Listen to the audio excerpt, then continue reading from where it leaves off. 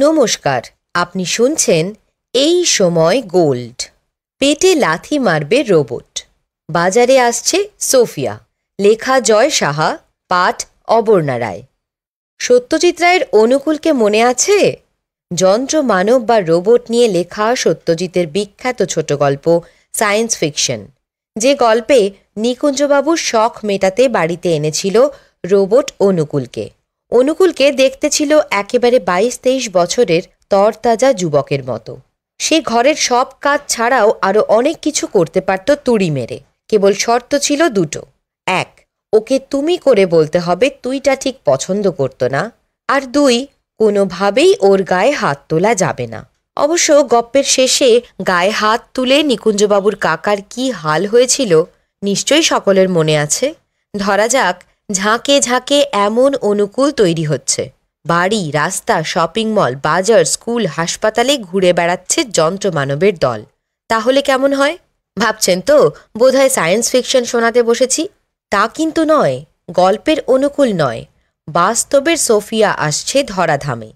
আর রাগঢাক রইল না। আগামী বাস্তব হতে শুরু করেছে।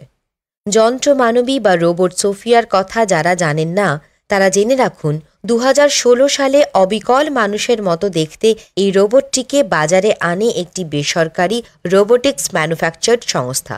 সোফিয়া চলতে পারে, বলতে পারে, গুনতে পারে, কাজ করতে পারে, প্রয়োজনে গল্পও করতে পারে।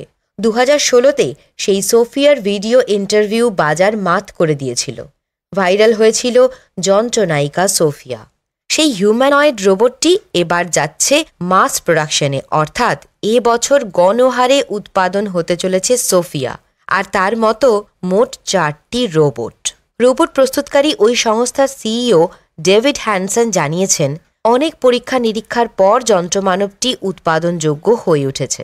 বিশেষ করে স্বাস্থ্যক্ষেত্রে, অর্থাৎ নার্সিং কেয়ার গিভার হিসেবে সোফিয়া সম্পূর্ণভাবে তৈরি। তাই এবার উৎপাদনের গতি বাড়ানো হচ্ছে। দ্রুত সারা পৃথিবীতে বিক্রি হবে এই রোবট। হাসপাতাল, বাড়িতে রোগী, প্রবীণ ও অশক্ত মানুষকে দেখভালের উদ্দেশ্যে এই রোবটকে বাজারে আনা হচ্ছে।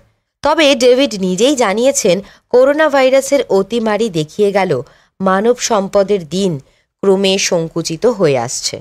তাই এবার রোবটের ব্যবহার আরও বেশি বাড়বে বলেই তার বিশ্বাস। ওই সংশ্লিষ্ট কোম্পানিটির নজরে ভারতও রয়েছে। এখান থেকেও যন্ত্রমানবীর চাহিদা ভালো বলেই দাবি বিভিন্ন সূত্রের। সোফিয়া রোগী ও প্রবীণের দেখভাল ছাড়াও তাদের সঙ্গে সুসম্পর্ক রেখে চলতে পারে। ফলে একাকী মানুষকে যোগ্য সঙ্গও দিতে পারবে এই রোবট। কিন্তু বিশ্বজুড়েই যন্ত্রের এমন ব্যবহারের বিরুদ্ধে নানা ক্ষোভ বিক্ষোভ রয়েছে। খুব ন্যায্য কারণেই প্রথম বিশ্বের যে সমস্ত দেশে রোবটের ব্যবহার বাড়ছে, সেখানে মূলত শ্রমিক শ্রেণির অন্দর থেকে যন্ত্র বর্জনের ডাক দৃঢ় হচ্ছে।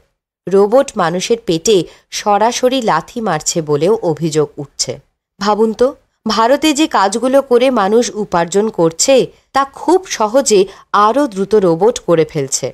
তাহলে কত মানুষের চাকরি যাবে?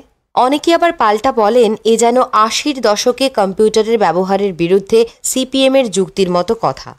কারণ মানুষের ভবিষ্যৎ থাকুক, না থাকুক, রোবটই ভবিষ্যৎ। কলের লাইন থেকে প্লেনের পাইলট সব কিছুর মধ্যে ইতিমধ্যেই চুপি চুপি দখল বাড়িয়েছে সোফিয়ার মতো রোবটরা।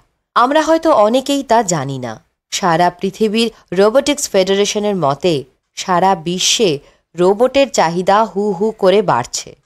অতিমারি করোনার পর সেই চাহিদা আরও তুঙ্গে। ওই সংস্থার দেওয়া তথ্য অনুযায়ী দু হাজার আঠেরো উনিশ সালে রোবট বিক্রির চাহিদা বেড়েছিল বত্রিশ শতাংশ। অবশ্য মানুষের অবতারে সোফিয়াদের গণ উৎপাদন, জনতার উপর কেমন প্রভাব ফেলে, এখন সেটাই দেখার।